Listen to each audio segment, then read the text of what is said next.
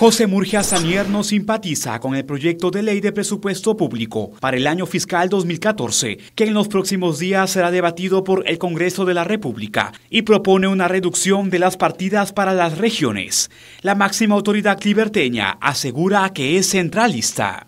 La decisión, creo yo, hay que respetar la decisión del, del gobierno central, lo cual no quiere decir de que en su momento podamos discutir si conviene desde el punto de vista o no conviene desde el punto de vista de la descentralización o centralización.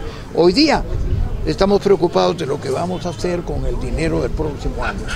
Sin embargo, asegura que la reducción no se sentirá, pues hay otras fuentes de ingreso como el canon minero, aunque este también se ha reducido por efectos del mercado global.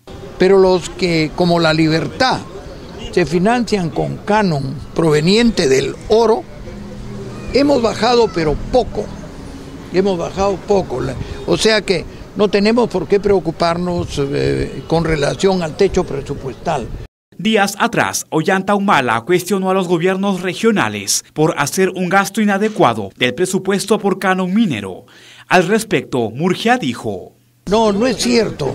Eso es lo que pasa pues cuando las noticias son solamente de coyuntura, de mes a mes, ¿no? Esto hay que mirarlo, esto hay que mirarlo en el, en el no, en el ejercicio anual, hay que mirarlo en el ejercicio anual, ¿no? O sea, los gobiernos subnacionales son más ágiles en gasto que el gobierno nacional. La gestión de José Murgia hasta la fecha ha ejecutado el 30% de su presupuesto para obras asignado para el presente año, una muestra de que no solo es cuestión de cifras, sino capacidad de gasto.